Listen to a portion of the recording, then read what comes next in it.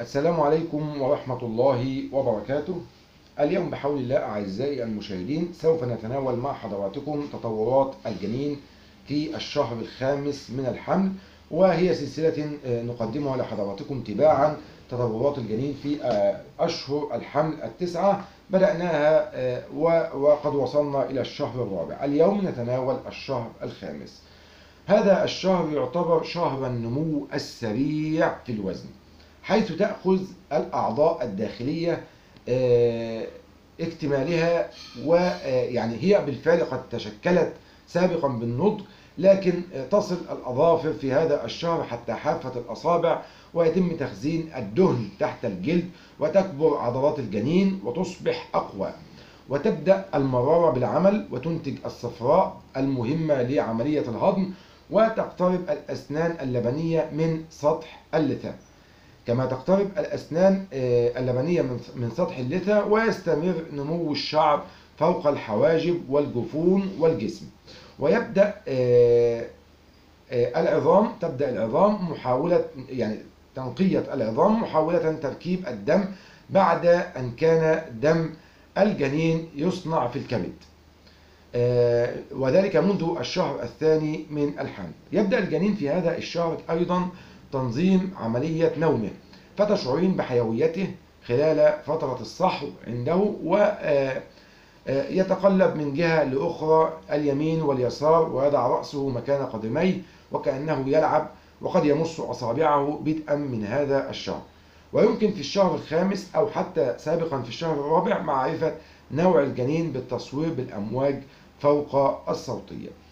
يصبح طول الجنين في نهاية الشهر الخامس حوالي 25 سنتيمتر أما وزنه فيكون حوالي 450 جراما أي حوالي نصف كيلو جرام.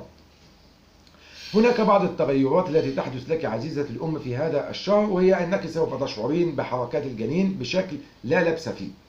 قد تشعرين بحس ضغط وشد أسفل البطن بسبب تمطط أربطة الحوض والرحم. وقد يظهر عليك قناع الحمل وهي زيادة الأصبغة في الوجه. وكذلك في البطن بحيث يبدو الوجه مسمرا إلى حد ما. وقد يحدث عندك إمساك أو عسر هضم أو حرقة في المعدة أو بعض الصداع ولكن تخف يخف الغثيان ويخف ويخف حدوث القيء وقد يظهر في الشهر الرابع من الحمل يعني يحدث هناك حس احتقان أنفي.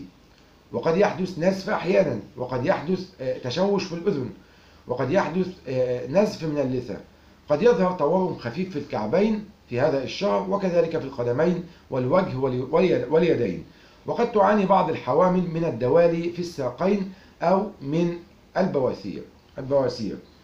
قد تلاحظين زيادة إفرازات المهبل مع ميلها للون الأبيض قليلا ويميل مزاجك للاستقرار في هذا الشهر مع القليل من تبدلات المزاج وبعض النسيان. نقدم لك بعض النصائح أهمها زيارة الطبيب لمتابعة المراقبة خاصة الوزن وزن الجنين ووزنك والتوتر الشرياني ومقارنة حجم الرحم مع تقدم سن الحمل ونمو الجنين. سوف يقوم الطبيب بتصوير الجنين بال échographie وسماع دقات قلب الجنين. تناولي الطعام المتوازن خصوصا الغني بالفيتامينات والكالسيوم والحديد والتقليل من شرب الكافيين المتواجد في القهوة والشاي.